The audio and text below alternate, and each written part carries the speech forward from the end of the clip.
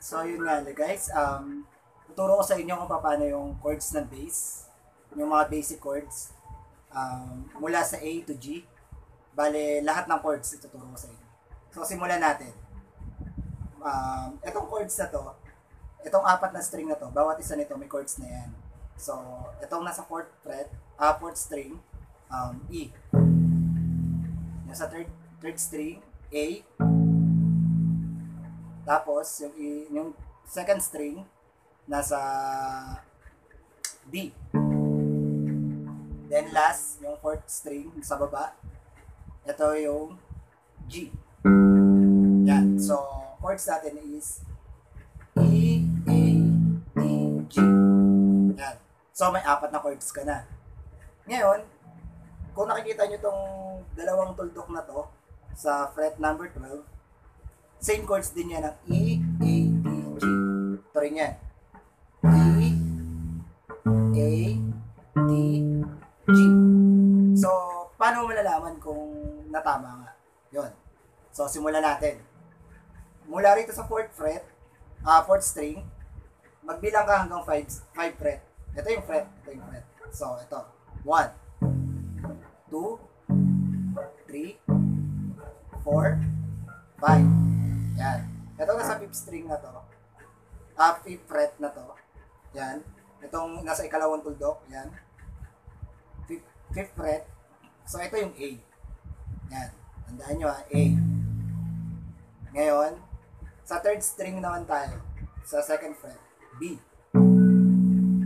Sa third string uli, isang usok. Sa third fret, C. Then, dalawang laktaw, D. At dalawang laktaw ulit, E. Then, sa dulo ng fourth string, yung sa first fret niya is F. Tapos, dalawang laktaw, G. So, kompleto na natin yung chords. A, B, C, D, E, F, G. So, memorize natin yung from A to G. So, pa, kung mapapansin nyo sa mga song hits, meron siyang chords na minor. Kunwari, A, tapos may M na maliit. Yon. So, yun muna tayo. Kung same lang siya ng chords ng basic tsaka ng minor, paano ko nasabing same lang? Ito, gaya nito. A, A minor, same lang yan. B, B minor, same lang. Ganon din sa C, C minor, iisa lang yan. D, D minor, E, E minor. F, F minor, G, G minor. So, meron ka ng basic chords na A to G, then A minor to G minor. Kasi same lang naman sila. So, meron pang isa. May chords pa na, kung mapapansin nyo, meron pang sharp. Sharp, di ba? Yung parang number sign, kung tawagin. So, ano yun? Ito. Ito naman yun. So, kunwari, mag-start tayo sa A. Da, may nakita kang A na sharp. A, isang usog mo lang. Ito na yung sharp. A sharp. Yan. Then, ngayon, yung C, may nakikita ka C sharp. C. Then, sharp. Isang usog din. Siguro nagigets nyo na kung ano ibig sabihin ko. D, tas D sharp. Laging isang usog. Kunwari, nag-A ka. Yung sharp ng A sharp, ng, ano yung A, yung A sharp, ang sharp nun is isang usog lang. Yan. Ang tatandaan nyo lang, yung B, tsaka yung E, wala siyang sharp. Yun lagi tatandaan nyo para hindi kayo maligaw. So, bali ang nangyari, kung isa-isa natin, A, A sharp, B, so dahil walang sharp ang B, C, then C sharp, D, D sharp, E.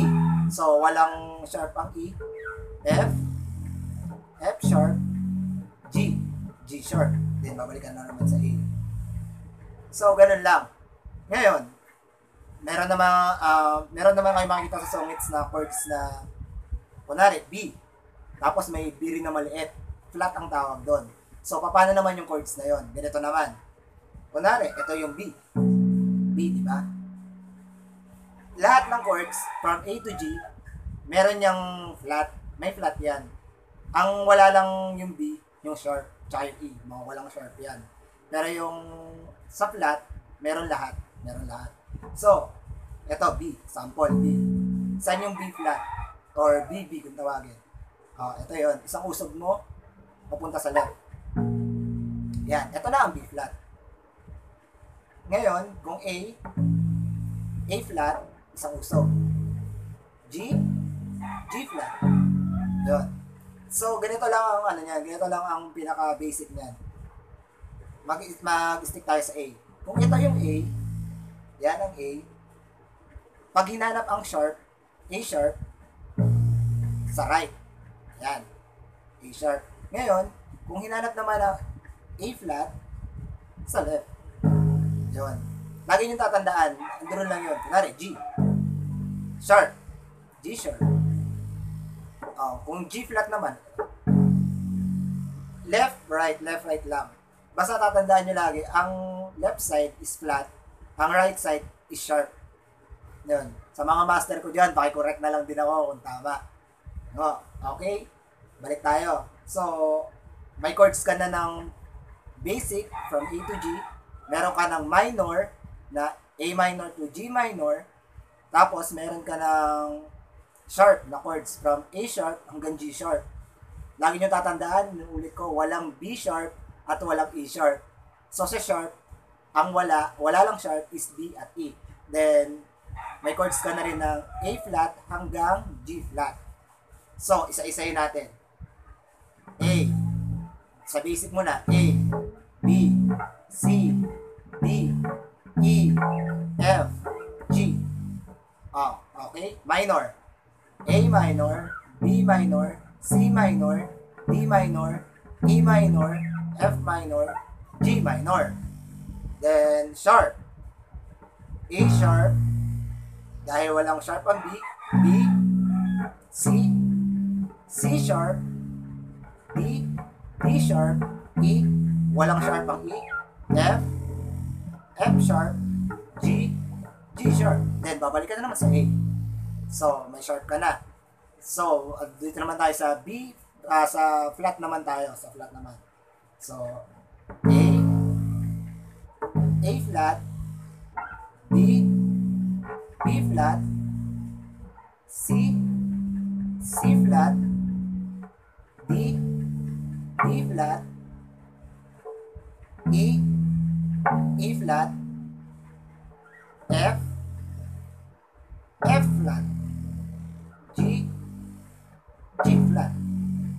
So, dami nyo na nakuha na chords. So, balikan natin yung sinasabi ko rito. Nagdalawang tuldok. Yan. Sa next ano naman tayo. Itong dalawang tuldok. Ito, ang, ulit, ang chords natin ulit is sa bawat string ay E, D, sa, sa ikatlong string, A, ah sa ikatlong, ulit, ulit. Sa fourth string, sa ikapat na string is E. Sa ikatlong string, A. Sa ikalawang string, D. At sa ikaapat ay G. So, E, A, D, G. Gaya na sinabi ko nung una, ito yung chords din is pareho lang. E, A, D, G. So, paano ko nasabing pare-pareho? Ayan. Dito na papasok yan. Kung mapapansin nyo sa alphabetical, na pagkakasunod-sunod is A, B, C, D, E, F, G. Ulit-ulit lang siya, di ba? So, gawin natin yung chords ng from A to G sa E isang string lang. Sa isang string lang. So, okay, try natin. A. The next chords is sharp. A sharp. So, ang kasunod ng A sharp is, kasi walang kasunod ang, sa alphabetical, ang kasunod ng A is B. So, B. Yan. So, A, A sharp, B. Dahil walang sharp ang B, C. C sharp, D sharp, E. So, nandito na tayo sa 12 string. Ito yung E. E yan, E rin to. So, tama tayo sa una. Sa A naman, sa A naman. Ito yung open na A sa third string. A. Ngayon, anong kasunod ng A? A sharp. Kasunod ng A sharp is B. Kasi A, B nga. Diba? Then, walang sharp ang B. So, C. Ngayon, C sharp, D, Sharp, E, walang E sharp, so F. Ito na yung F. F sharp, G. G sharp, A. So, tama. Ito na rin yun. A na open at A na higher sa number 12 fret. O, dito naman tayo sa D string. D string. Para mapatunayan ko rin na dito talaga. So, D, open D. Kasunod ng D is D sharp. Then, E. Dahil walang sharp ang E, F. F sharp. G. G sharp. A. A sharp. B. Walang sharp ang B, so C. C sharp. D. So, tama na naman ako. Tama na naman nung ano natin. Okay, G. Sa G string. Last string. Sa fourth string. G. Open G. Kasunod ng G is G sharp. Then, A. A sharp. B. Dahil walang sharp ang B is, da, bale, kung walang sharp ang B, C na. C. C sharp. D. D sharp. E. Walang sharp ang E. F. F sharp. G. So, tama. Tama lang, di ba? E. E. A. A. D. D. G. G. Oh, so alam niyo na yung chords mula dito, mula sa unang fret hanggang sa 12th fret. Memo memorize nyo na yan lahat. Mula itong apat na string na to hanggang dito. So, paano naman yun nandito? Parang ganito lang yan. Imagine niyo itong dalawang tuldok na yan, ito na yon. Ito na yon. So, balik tayo. 'Di ba? Ito yung open, open E. Ito na yung pinaka-E niya. Imagine niyo ito yung open na ngayon. F. Itong number 30 na to, na fret, 30, F na to. Ito yun. Kasunod ng F is F sharp. Ngayon, kasunod niyan is G. G sharp, A. A sharp, B. Dahil walang sharp, C. So, meron ka na hanggang dulo. Parang ganito rin kasi yan. Yan. Kung ano yung chords dito, same lang yan papunta rito. Ganun din. Ito, A na to. A. Kasunod ng A, A sharp. B. Walang sharp ang B. C. C sharp. D. D sharp. E. Walang sharp ang E. Walang E sharp. So, F. Okay. Ngayon, D. D sharp. E. Walang sharp na E. F. F sharp. G. G sharp. A. A sharp. Ngayon, last. G. G sharp. A. A sharp. B. Walang sharp ang B. C. C sharp. D. D sharp. So, memorize nyo na. Mula dito hanggang dito. Ganun lang siya. So, balik natin. F, F sharp, G, G sharp, A, A sharp, B, C, C sharp, D, D sharp, E, F, F sharp, G, G sharp, A, A sharp, B, C. Diba? Ganun din yan. Hanggang sa pumunta ka sa pinakababa. So, pakiintindi na lang. Kung medyo naguguluhan kayo, pwede nyo namang i-previous yung video na to para paulit-ulitin nyo para ma-memorize nyo at magets nyo yung ah, tinuturo ko. Ganun lang. So, ang shinare ko sa inyo is lahat ng chords mula first fret hanggang sa pinaka-last fret. Mula ng bawat string mula sa fourth fret, uh, fourth string, third, second, at first. So, yun lang. Maraming salamat.